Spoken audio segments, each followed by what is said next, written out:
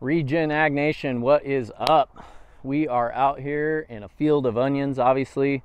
Um, looking at these babies, just kind of following up on things early season. As you can see, we're starting to get a little bit of growth here, starting to put on some leaves. Um, types of things we're looking at this time of year. We're counting number of leaves, one, two, three, four.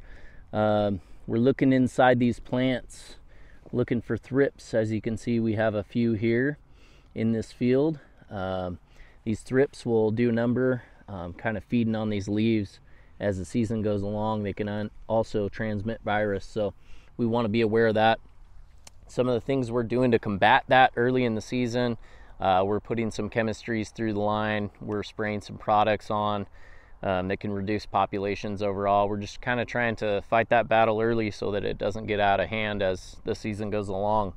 Um, we can also look for fungal diseases and pathogens uh, throughout the season. At this time, we don't really see any high pressures in any of these fields. Also, as we go across, thrips populations aren't incredibly high. Um, it's been a slow start to the season, so we're we've just been a little bit cold.